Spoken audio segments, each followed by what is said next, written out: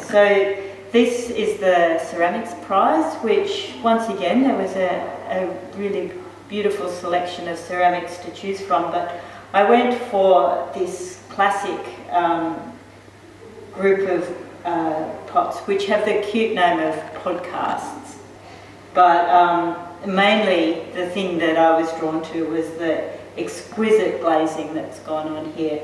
The, the celadon and the copper are doing just delightful, wonderful things, which may look very simple, but I know is um, quite a complex and uh, challenging thing to make happen. So yes, a beautiful set of ceramic